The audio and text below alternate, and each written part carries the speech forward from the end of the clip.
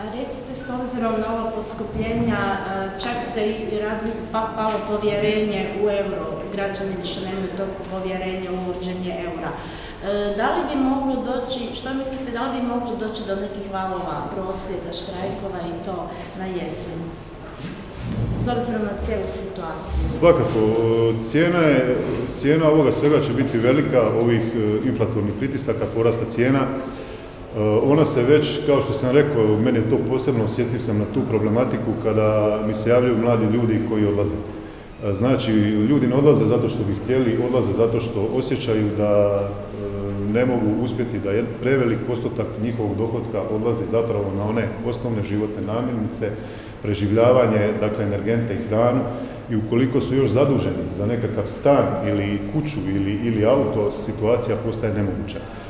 E, tako da e, s jeseni možemo očekivati svašta, e, ne možemo, da budemo iskreni, nismo otok u ovome svijetu, dio smo svijeta, ali da smo mogli voditi samosvjesnu politiku, politiku koja ne bi bila lažljiva ili lažno dopadljiva u celofanu PR-a, dakle da se predstavljamo kako smo lijepi, pametni, a zapravo građani i narod nam cvili pod čizmom tereta i obveza koje smo im nametnuli, to smo naprosto morali, jednostavno smo to morali napraviti i dan danas, dakle, kad dođete, evo, držat ću se litre benzina, goriva, kad danas e, točite gorivo na benzinskoj tvrtki, za svaku litru 6 kuna uplaćujete putem PDV-a u državni proračun.